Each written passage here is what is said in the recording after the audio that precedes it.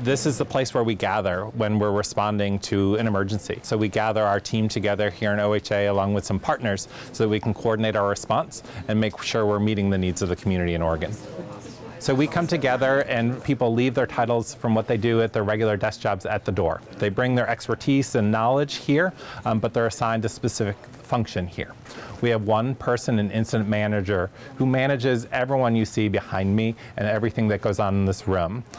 I want to assure the folks of Oregon right now that we have the capacity to test right now.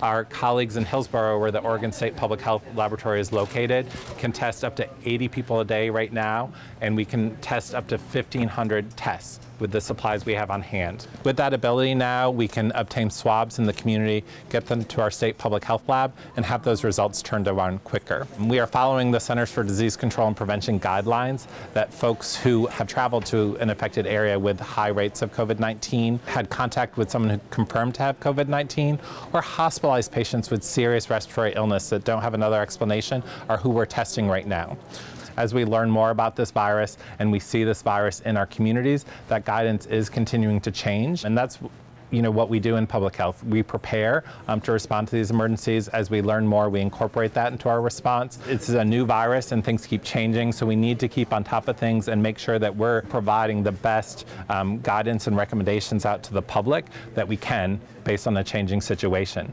And know that, you know, what we say today may change in a week as we learn additional things. We are committed that as we identify presumptive positive cases of COVID-19, we'll get that information out to you very quickly. As this is a new virus, we don't have all the answers on what's going on right now, and so that's why we ask and we provide the advice that people who are sick should stay home while they're sick until they recover and then return to work or school. That's one of the best ways we have to limit the spread of this and other diseases, along with the old standby of washing your hands and covering your cough and sneeze. They may seem very low low tech, but we know that they're tools that we have that can be effective against this virus.